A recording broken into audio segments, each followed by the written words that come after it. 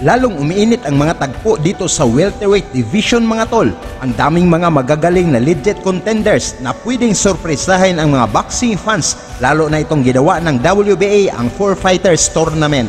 Nakasama si Ordinis Ugas versus Imantas Estanyones para sa WBA Super Belt at Jamal James versus Rasha Butaev para sa WBA Regular Belt. Sinulit ni Radja Butaev ang kanyang pangalawang pagkakataon para sa championship fight para sa WBA welterweight title.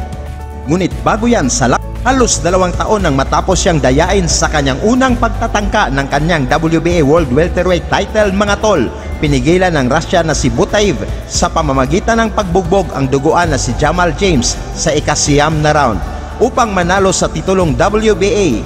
Tinalo ni Butaev si James sa main event ng Showtime mula sa Mandalay Bay at Machilov Ultra Arena and Casino.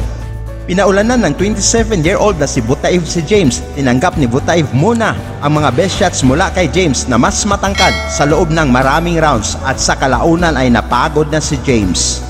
Hindi napatumba ni Butaev si James sa canvas ngunit sapat na ang nakita ng referee na si Celestino Ruiz na one-sided sa one-sided na aksyon habang agresibong umatake si Butaev sa ulo at body shots sa 2 minutes and 12 seconds sa ikasiyam na round. Napakahalaga nito para sa akin sinabi ni Butaev kay Jim Gray ng Showtime kasunod ang kanyang kahangahangang tagumpay.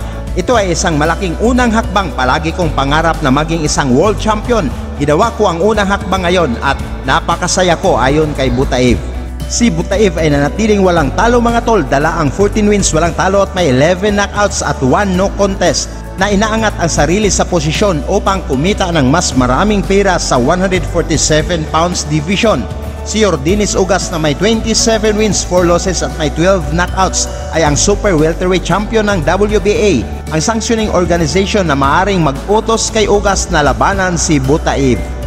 Si James may 27 wins, 2 losses at may 12 knockouts ay natalo sa pamamagitan ng knockouts sa unang pagkakataon sa loob ng 11 years bilang isang pro. Ang kanyang unang pagkatalo ay nagmula sa laban kay Jordinis Ugas ng Cuba na tinalo si James sa pamamagitan ng unanimous decision noong August 2016. Nadama ko na maaring magtapos ang laban na mas masahol pa sabi ni Butaev bilang sa pagtukoy ng desisyon ng referee na si Ruiz na tapusin ang kanilang laban natigil talaga ang laban sa tamang oras. Nauna si Butaev sa scorecards ng dalawang judges na may 78-74 at 76-75 naman sa isang judge. Ito ay pangalawang pagkakataon ni Butaev na lumaban sa WBA World Championship mga tol. Sa unang laban niya ay tinalo siya ng kababayang si Alexander Bisputin sa pamamagitan ng unanimous decision sa kanilang laban noong November 2019. Ngunit tinanggal kay Bisputin ang kanyang WBA belt dahil nagpositibo ito sa ipinagbabawal na gamot at ang resulta ay ginawang no contest. Okay lang ako, sabi ni James, hindi ito ang gabi ko. Isang malaking shoutout kay Butaev at kay Jaron Inis. Maganda ang kanilang ginawa ngayong gabi. Ikinalulungkot ko na hindi ko naibalik ang aking sinturon. Bagamat nagreklamo si James at ang kanyang handler na ang pagpapahinto sa laban ay napaaga, ngunit malaki na ang parusang natanggap ni James at talagang kita na ng referee na one-sided na ang laban upang maiwas sa pinsala si James ay inawat na ng referee ang laban. Salamat sa inyong suporta. Mag-iwan na lang kayo ng comment, like at subscribe. Mag-upload tayo ng mga bagong videos araw-araw.